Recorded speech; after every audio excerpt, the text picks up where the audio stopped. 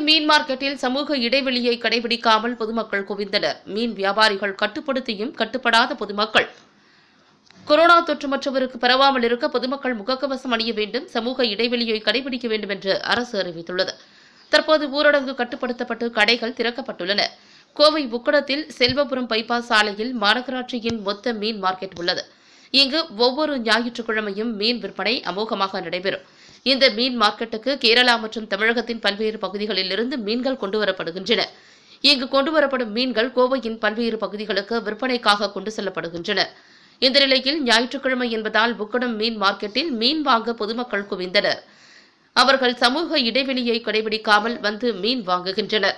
மீன் விற்கும் வியாபாரிகள் பொதுமக்களிடம் சமூக இடைவெளி முகக்கவசம் பற்றிய விழிப்புணர்வை ஏற்படுத்தியும் பொதுமக்கள் மீன் வாங்குவதில் ஆர்வத்தில் கண்டுகொள்வதில்லை. இதுகுறித்து மீன் வியாபாரி அப்பாஸ் கூறுகையில் தமிழக அரசு அறிவித்துள்ள சமூக இடைவெளி முகக்கவசம் அணிவதை பற்றியும் நாங்கள் எங்களுடைய மார்க்கெட்டில் கடைபிடித்து வருகிறோம். பொதுமக்களுக்கு அதிகமாக அறிவுறுத்தி வருகிறோம். மீன் வியாபாரிகள் சுகாதாரத்துறைக்கு மாநகராட்சிக்கு மாவட்ட நிர்வாகத்திற்கு முழு ஒத்துழைப்போடு இருந்து வருகின்றோம் என்றார். மேலும் அவர் கூறுகையில் கோவை மார்க்கெட்டுக்கு கேரள மாநிலம் கொச்சி மற்றும் தமிழகத்தின் பல்வேறு பகுதிகளில் இருந்து வரும் மீன் வரத்து குறைந்து விட்டதால் மீன் விலை அதிகரித்துள்ளது என்றார். என் அப்பாஸ் அரசாங்க வலியுறுத்தின்படி எல்லாமே மாஸ்க் போட்டு க்ளவுஸ் போட்டு சமூக இடைவெளி விட்டு வியாபாரம் பண்ணிகிட்டு இருக்கிறோம். ஆனால் மீன் வந்து வரத்து வந்து ரொம்ப கம்மியாக இருக்குது.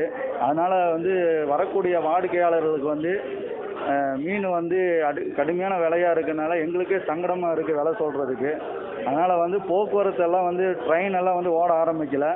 போக்குவரத்தெல்லாம் சீரானதுக்கப்புறம் வந்து விலை குறைவி கம்மியாக இருக்கும்.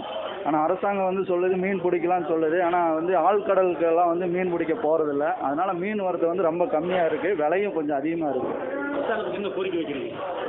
அரசாங்கத்துக்கு வந்து கோரிக்கை என்னன்னா ஆனால் இப்போ இருக்கக்கூடிய இந்த கொரோனாங்கிற வியாதி வந்து உண்மையாக வந்து மக்களை பயப்படுத்தக்கூடிய வியாதியாக இருக்குது. அதனால் வந்து அரசாங்கம் சொல்கிறத வந்து நாங்கள் கடைப்பிடிக்கிறோம் ஆனால் வந்து எங்களுக்கு மார்க்கெட்டு வந்து பத்தரை மணி வரைக்கும் தான் வந்து இது பண்ணியிருக்காங்க.